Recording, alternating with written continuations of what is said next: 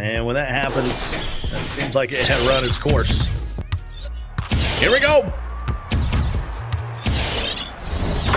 And right to the rack. That's 630. Get used to seeing a lot of that. That's six points. I don't I don't know what to make of the team in Portland. 630. No one can stay in front of them. Like only the T-Wolves. It's 30, a little late on the release there. Joe Jomar's right there to help out offensively. And Wolf can't hit the mid. He's still loose. And Lavish somehow gets to it. 630 Green. Oh, man, that's a backbreaker. Turn, turn.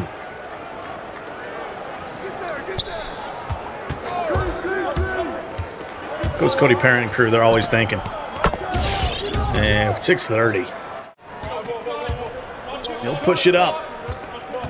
It's it off to 630. He's got 17. The huge performances yesterday. They averaged nearly 40 points a game. There's another shot, and one seed in each conference. I was going to say it's an interesting dynamic because that's going to be the first time ever where it's like, hey, we finally get to we get to sit and watch some playoff action first. What? 630 was trying to put on his show. Jomar there to clean it up.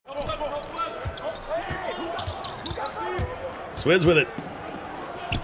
Drops it off to Jomar. Jomar, two hands and one.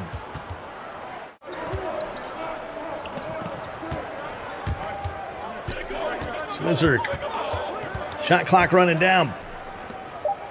Drops it off to Jomar. We'll check it with Harris. Out on social media. Yeah, man, he's got a terrible. they can't shoot. Yeah, I mean, it's like I mean, I competed against like everybody, obviously that's like in the league. When I played, when I was trying to go for the league itself too. I mean, I mean, it just they, they don't. There's um,